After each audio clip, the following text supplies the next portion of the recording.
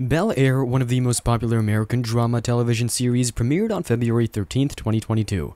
The series became extremely successful after only a few episodes were released. If you're unfamiliar with Bel Air, it's a modern retelling of The Fresh Prince of Bel Air with a considerably more dramatic mood than its 90s sitcom predecessor, digging into the issues of race and culture shocks that come with moving from West Philadelphia's playground to a mansion in Bel Air. All of the characters from the original show are present, from Aunt Viv and Jeffrey to Hillary, who's an influencer in Bel Air, which is amazing. But back to the most important topic of all. Will Bel Air, will Bel Air return for a third season? Let's go through everything we know so far related to the possible renewal. In one word, yes.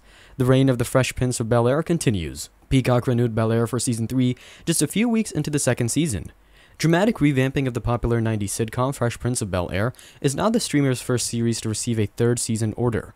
On March 17th, the cast confirmed the news with an Instagram montage in which they held up three fingers, indicating that season 3 is on the way. Season 3 premiere.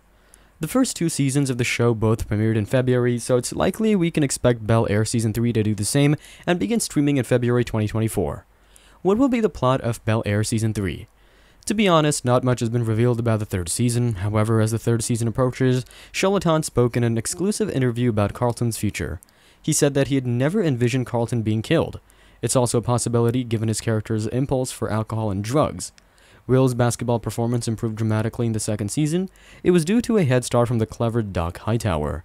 Banks is more concerned with creating his persona off the court in the future. Do you believe this will be covered in the next season?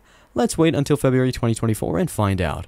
That concludes today's video. Thank you for watching and please share the video with your friends and family who have watched the show. Also, if you liked the video, please consider subscribing and clicking the bell icon. See you in the next video.